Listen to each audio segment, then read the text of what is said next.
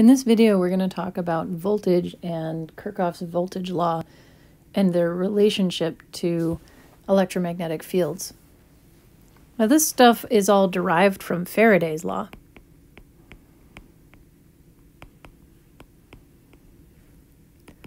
Which is that the integral of the electric field around a closed loop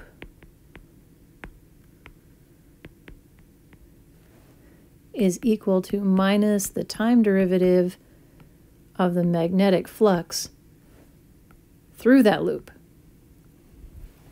But here's the thing. In the particular case of voltage and Kirchhoff's voltage law, we're talking about the static situation. And when it is static, that means nothing's time varying, so this whole side of the equation goes to zero. So we're looking at the situation where the integral of the electric field around a closed loop is equal to zero because this is static. this is also a condition uh, that informs us that the electric field is conservative.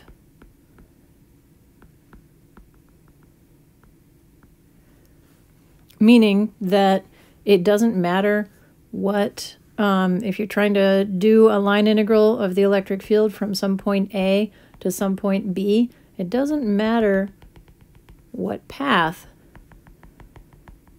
you take to get from A to B, you still get the same result.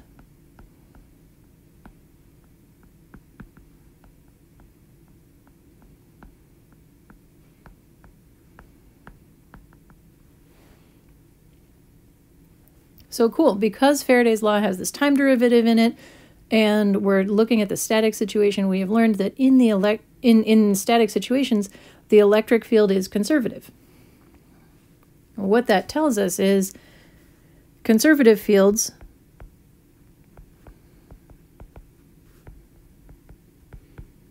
could be the gradient of something.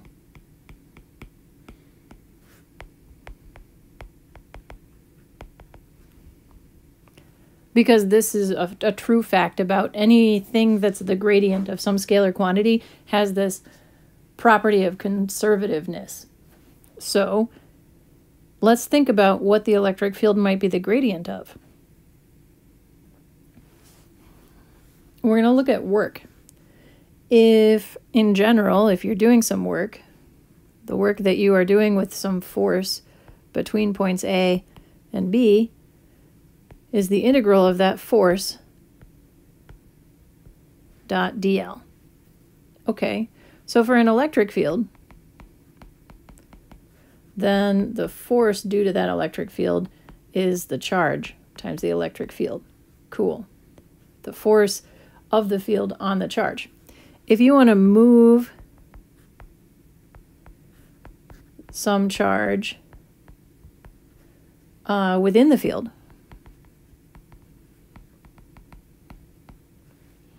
right, against the force that's being exerted on the charge by the field, then the work to move the charge, well, sorry, the force to move the charge is minus the charge times the electric field because you're opposing the force that's being exerted by the electric field.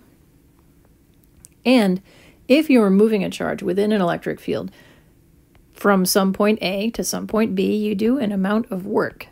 And that amount of work is minus the charge times the electric field dot dl integrated from your starting point to your ending point. You can move the charge out to the beginning, so you end up with something like this. Minus q times the integral of a to b, from a to b, of e dot dl. All right, so it takes plus w work to move that charge against the electric field from a to b. So what if we wanted to know this more generally for some arbitrary value of Q? We can define a voltage, an electric potential energy. Well, it's an electric potential, but it's not an energy because we're going to divide by charge. Um, so the voltage between point B and point A is this work, which is also between point B and point A, divided by the charge. So that would give us minus the integral of E dot dl, so a path integral of the electric field from point A to point B. This is what we know of as voltage.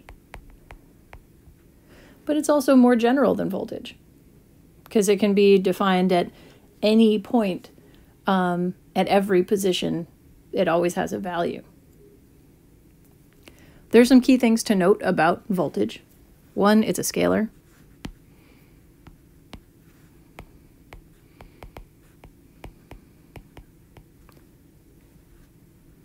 Next, the dot product in this integral is important.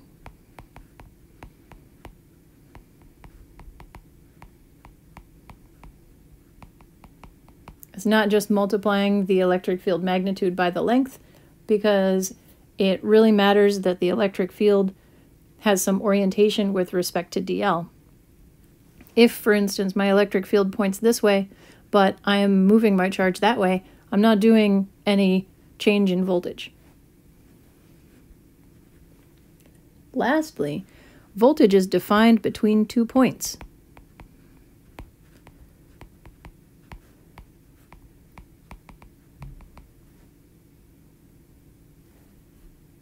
So you can't just have a voltage at B. It has to be a voltage at B that is relative to point A or to some other position.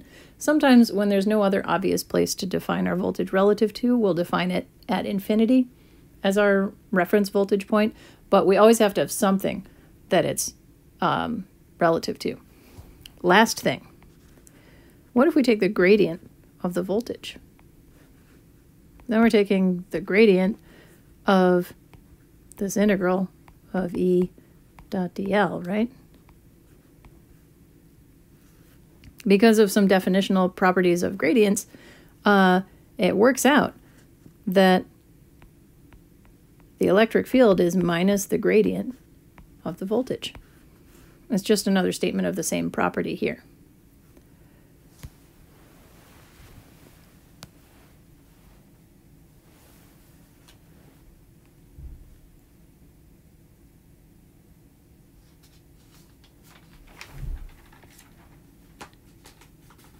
And I think I said this before, but um, this property of the electric field being conservative means that this voltage integral that we're talking about here is path independent. It doesn't matter what path we take to get from A to B. As long as we get from A to B, we get the same voltage result.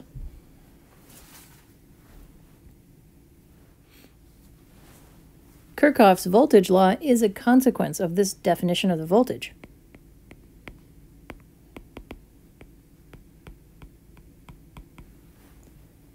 What we mean is, if I have some circuit here, I'm going to draw just a regular circuit with a resistor in it.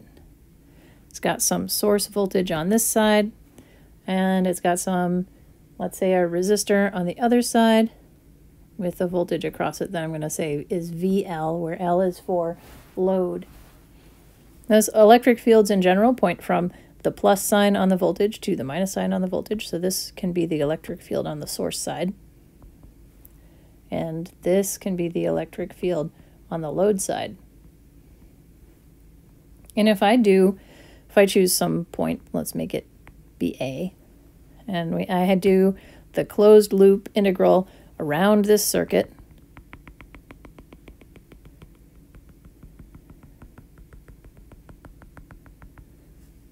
Remember that a closed loop al always has to have a direction defined, so I'm going to define it this way, like that.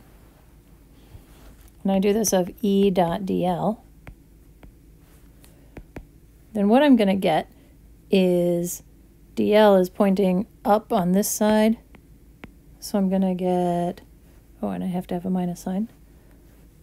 And I'm going to say that that's equal to 0 because it is, that's our property that we're using. The first thing that I'm going to get is minus integral of es dot dl. And these are oppositely directed, so this works out to minus magnitude of ES times dl without the vectors. Um, then I'm going to integrate along this wire, but the wire is a conductor. It's a short, so there's no voltage on it and there's no electric field on it. So we're going to do integral of 0 dot dl because there's no field there. Then I'm going to come to this load and I'm going to have an integral. This time dl and the electric field in the resistor are co-directed. So I'm going to have minus integral of magnitude of EL times DL like that. And then I'm going to have another section that's zero due to the wire along the bottom of the circuit. So that's plus another integral of 0 dot dl. So what we end up with is this first term becomes plus vs because we've got this minus sign that we obtained from the oppositely directed vectors and this other minus sign that we get from the definition. And over here, we don't get a minus, uh oh we don't get a minus sign from oppositely directed vectors because the directors are co the vectors are co-directed, but we still have the minus sign from the definition. So we have plus VS plus 0 for the wire on the top minus VL plus another 0 for the wire on the bottom equals 0 from our Faraday's law definition. And that means that we get VS plus, sorry, VS minus VL is equal to 0. That's Kirchhoff's voltage law. It's a consequence of this fact that in static conditions, the electric field is a conservative field.